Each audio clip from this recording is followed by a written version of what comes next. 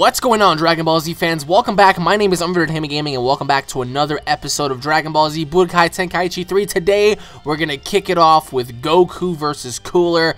This was a fantastic movie, and we're about to begin right now, so here we go, guys. returns to Earth after crushing Frieza.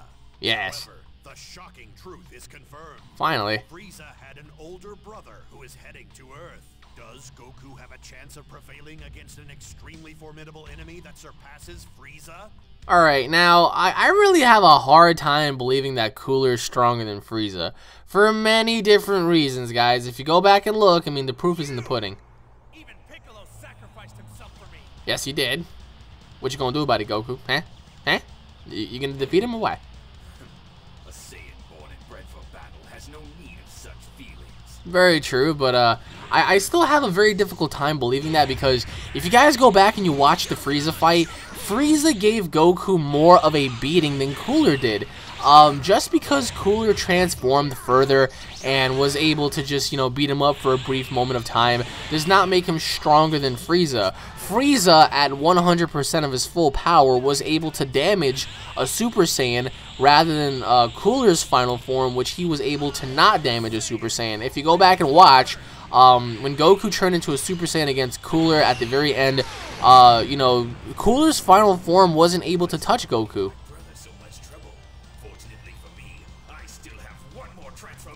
It's not like it's gonna make a difference because you suck anyway, Mr. Cooler. Um, but yeah, I mean, Frieza, I do believe Frieza gave Goku more of a hard time. Once again, I don't believe he's more powerful than Frieza. Because if he was more powerful than Frieza, don't you guys think he would have given Super Saiyan 1 a little bit of a run for his money? I mean, just because he doesn't really necessarily, you know, surpass that of a Super Saiyan 1 completely does not make him stronger than Frieza. Uh, Frieza, to me, did more damage. Frieza, to me, was more of a unrelenting, undaunting character. Um, Frieza was more engaging because Frieza was willing to blow up the entire planet to prove his point. Um, Cooler was a badass as well. Do you guys remember when Cooler first like debuted? You know, like the like the entire fucking story, the entire movie was awesome. Uh oh.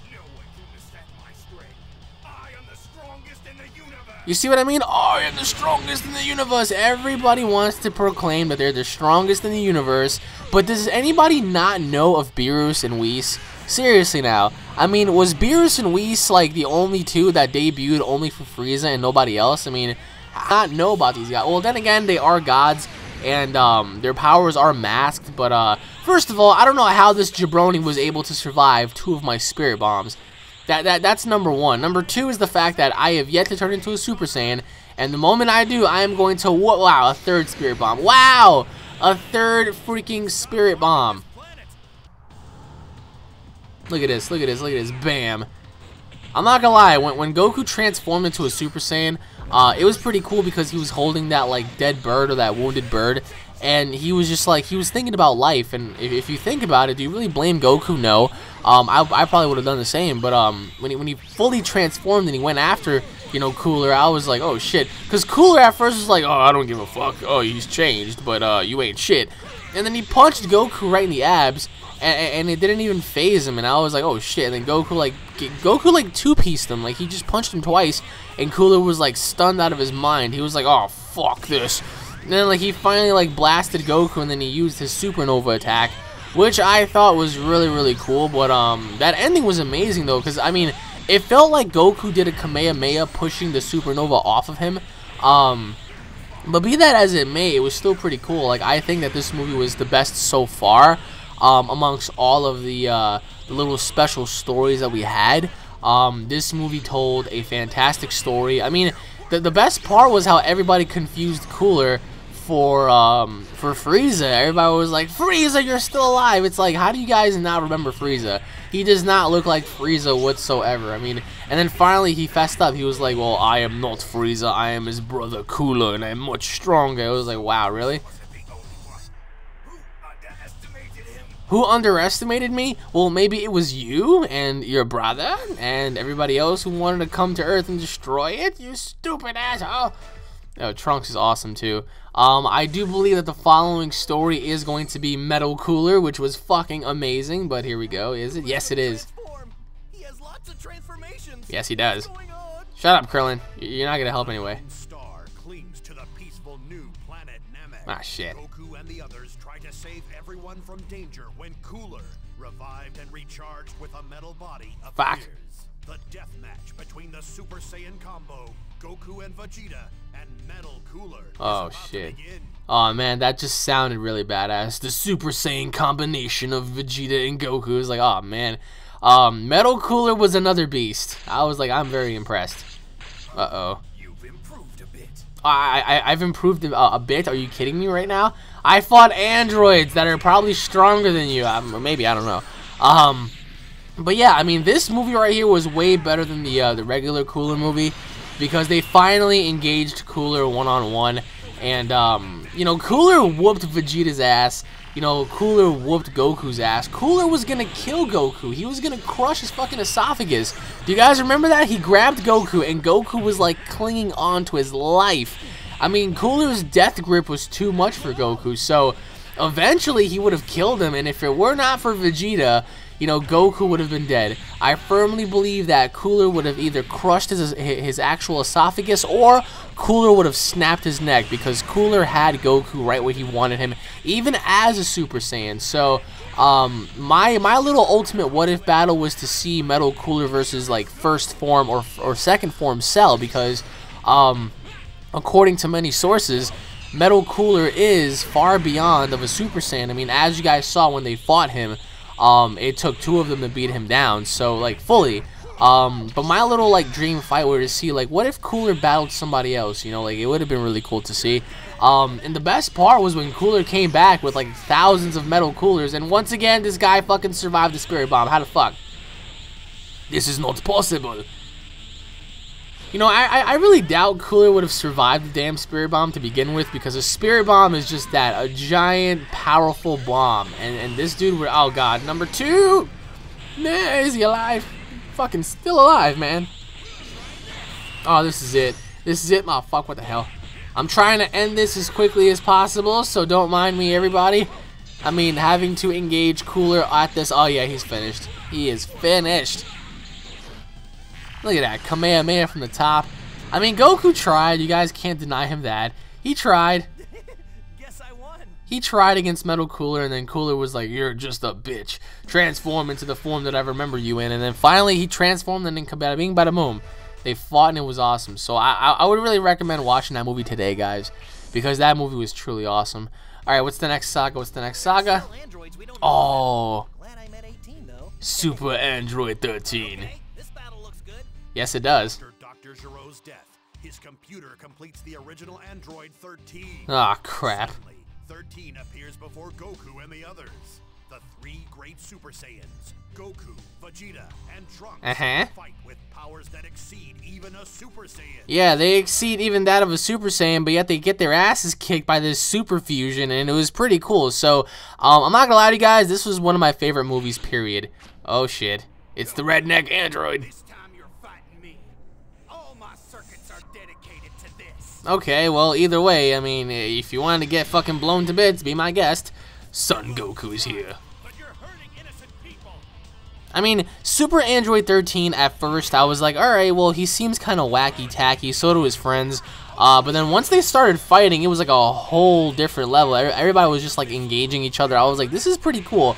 Um, this is by far, aside from Broly, my favorite film because uh, Super Android 13 was just pure unmitigated rage. And um, especially when Super 13 fought everybody, he punched Goku right in the dick. He beat down Vegeta, he beat down Trunks, he broke Trunks' sword, he beat Vegeta down into the snow, he pretty much like blasted Piccolo's face, he punched Goku in the fucking balls. It was absolutely sick. And the way Goku ended the fight was superb because he absorbed the spirit bomb inside of his body. Oh my god, run. Why does he sound like Super Android 17? Oh god, eh, yeah, wow, and Goku just flees the scene. What do you want, Vegeta? You gotta get your ass kicked. Oh boy. Alright, well, why don't you try your Big Bang attack or, or, or your Final Flash? Perfect fucking reason to use a Final Flash is against this bastard right over here. If I were Vegeta, that, that is the first thing I would have done. I, I would have just sat back and charged up like my full power. Oh boy. Damn it, man. Alright, come on, come on, Vegeta, come on. You are a Super Saiyan. You should be able to defeat him. Ow, ow, ow. Wow, I can't even. Please let me hit him. Please let me hit him. Please let me hit him. Oh, come on, come on, come on, come on, come on. The power struggle's real. Oh, God, he's stronger than me. Wow, Vegeta didn't even get one freaking hit in. Are you kidding me? Who's next? Oh, oh, yes, you. I'm going to cut you with my sword. Oh shit, come on, come on, Trunks, come on, Trunks, come on. I mean, a lot of people are to say that these movies aren't really canon, so they shouldn't count the actual series. And I, I agree with what some people have to say, of course, but um, it really sucks the fact that I really wish that some of these movies were canon because can you imagine if they did have a uh, very similar to, uh, wow, that fucking energy ball followed me? Can you imagine if they had like a very similar story to this, like being canon? I, I think it would have made everything that much better, but I, I guess like the movies can be refuted as canon, non-canon material, so... But anyways, everybody, I hope you all enjoyed watching. My name is Unreal Entertainment Gaming. If you guys are Dragon Ball Z fans, don't forget to subscribe to my channel for all the latest Dragon Ball Z news, information, updates, walkthroughs, what if battles, and tons of more content, guys. If you guys enjoyed the episode, if you guys love Dragon Ball Z, don't forget to hit it up with a like and a favorite. Everybody, leave your thoughts in the comment section below. I want to know what you guys have to say in the comment section below, as usual, of course. Now, um, I hope you all stay tuned for more because we're going to have a lot more where that came from. We have to finish up the What If Saga, the Dragon Ball Saga, finish up the special saga with Broly, Hirudegarn, Janemba, Bojack, and stuff like that. So it ought to be good. But um, also let me know in the comment section below on what was your favorite film between the three of them shown today. Was it Super Android 13, Metal Cooler, or uh, the regular Cooler movie? Let me know in the comment section below. And why? Why is it that those movies are your favorites? Let me know in the comment section below. I just blasted this asshole with the spirit bomb, and he's still fucking coming at me. Oh, God. Come on, come on. Come on, Kakarot. Transform into the Super Saiyan. Why can't I transform, man? Fuck this dude. Spirit bomb! Alright, one more spirit bomb should do the trick, ladies and gentlemen. And if it doesn't, then I will be officially screwed because I am going to hit this dude with, what, like three spirit bombs and he's still going to be alive? That's what I think Goku should have done to Beerus in uh, Battle of Gods, was like launch the spirit bomb at him and see what happens. Can you imagine if like Beerus were to absorb that fucking attack? Come on, Goku, come on, come on, come on. Damn it, he's blasting me into oblivion. Mind you, this is not what happened in the actual movie, but uh, we're, we're, we're a little close to it, I guess you could say. The next time I launch a Spirit Bomb, I have to absorb it. If only you're able to do that. That would have been like the greatest moment ever in any Dragon Ball Z game. Come on. We yes, we did. We beat the legendary androids. Anyways, everybody, I hope you all enjoyed. Stay tuned for more because there is a lot more Dragon Ball Z content where that came from. Like I said, guys, I mean, this game is truly a classic, bringing back so many memories, so many Districts things. So I hope you all enjoyed, and oh shit. Yes, Super 13 was one of them. So now we're going to engage Broly in the next episode. Thank you all for watching, everybody. Stay tuned for more Long Live Dragon Ball Z. And I'll be seeing you all later, everybody. Take it easy. Peace.